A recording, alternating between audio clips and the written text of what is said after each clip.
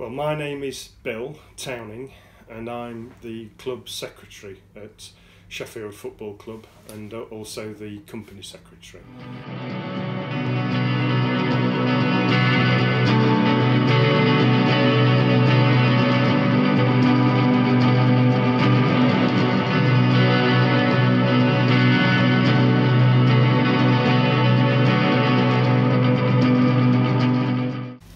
Sheffield Football Club uh, is the world's first football club uh, and it was formed on the 24th of October 1857 by uh, Nathaniel Creswick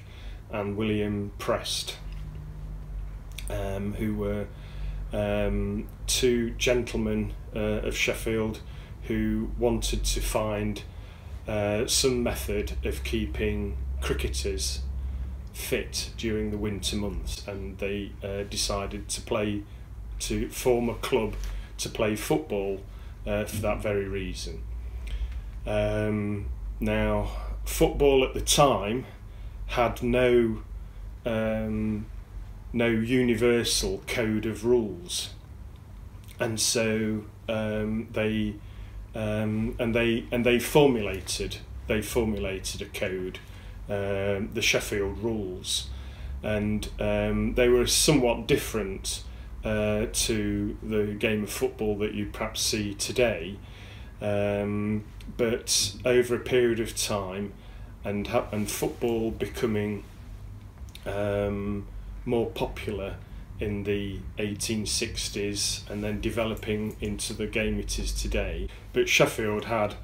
um, a very um, important role in in in developing uh, some of the features of the game that that are still present today. Uh, crossbars, corner kicks, heading the ball, uh, kick off in the middle. Um, I think the uh, first floodlit game, um, the first derby, of course, um, and provided uh, players for the early international teams uh, as well.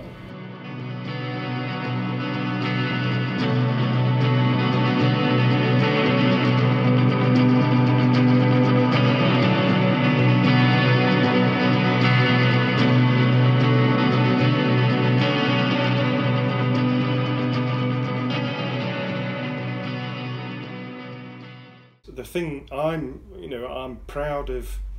uh, proud of what we do and what we stand for and um, every every every match day um, is is is a privilege uh, to be to be close to um, you know real the real game